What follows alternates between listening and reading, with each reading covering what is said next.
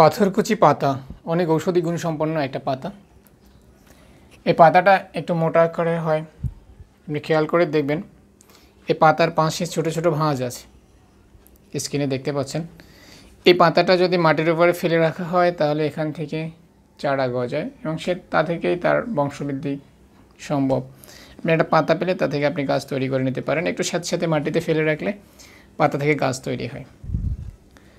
তো এই পাতাটা আমার একটা বড় রোগের উপকারী। কিডনিতে পাথর যদি হয়, গলগণ্ডে পাথর হয়, সেক্ষেত্রে এই পাতাটা ব্যবহার করা যেতে পারে। খুব স্বল্প ব্যয় স্বল্প ব্যয় বলতে কি? ব্যয়হীন।